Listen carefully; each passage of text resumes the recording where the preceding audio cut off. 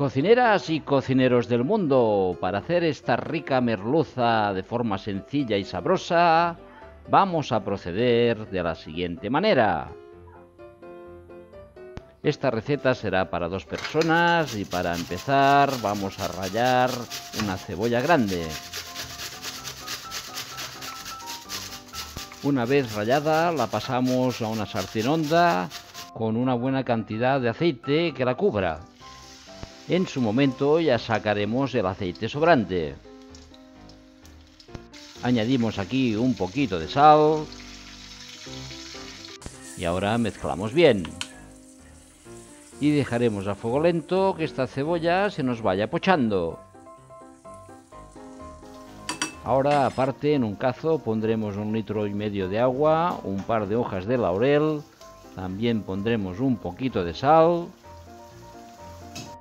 Revolvemos para mezclar la sal con el agua. Y a continuación pondremos la merluza de la receta. En este caso pongo tres trozos para cada persona. Vamos a dejar que esta agua empiece a hervir y de esta manera la dejaremos 5 minutos hirviendo. Volviendo a la sartén, ya han pasado unos 20 minutos ya tenemos la cebolla un tanto pochada, ahora añadiremos hasta 5 ajos cortados a trozos, a trozos medianos. Mientras tanto podemos ver que ya la merluza nos está hirviendo. Han pasado 30 minutos, la cebolla ha disminuido considerablemente y ahora le añado un trozo de puerro, un trocito pequeño de puerro. Mezclamos bien estos ingredientes y dejaremos el puerro que se vaya friendo.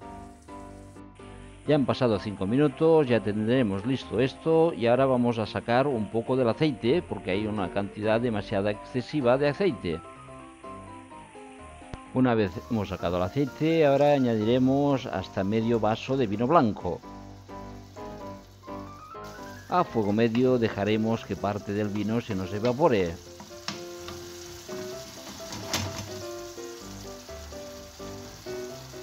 Dos minutos a fuego medio y ahora añadimos una cucharada rasa de pimentón dulce. Mezclamos bien. Y una vez bien mezclado, ahora añadiremos una cucharada repleta de harina. Mezclamos y dejaremos cocer esta harina a fuego lento durante un par de minutos.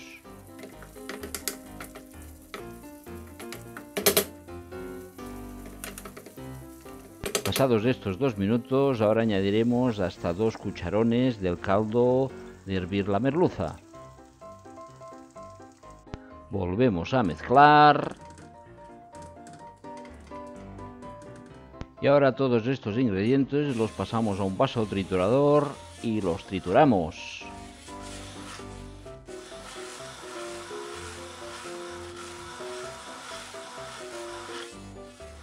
Una vez triturado lo volvemos a la sartén. Y ahora aquí es el momento de añadirle la merluza que teníamos reservada. Añadiremos un poquito más del caldo de hervir la merluza y seguiremos la cocción a fuego lento. Mientras tanto, en un recipiente vamos a triturar hasta cuatro ajos, un ramito de perejil,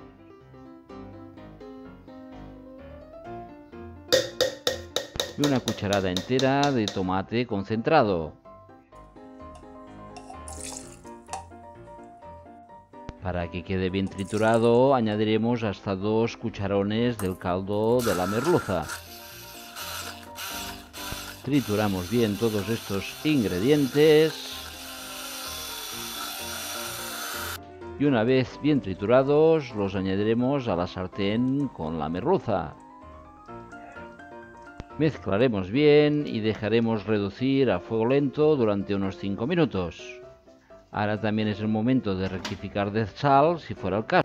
Y cocineras y cocineros del mundo, pasado este tiempo ya tendremos lista y preparada esta sencilla, fácil y gustosa merluza.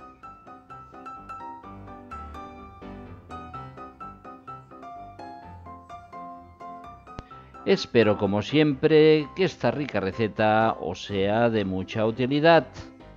Un saludo y el refrán de hoy. En el libro de la vida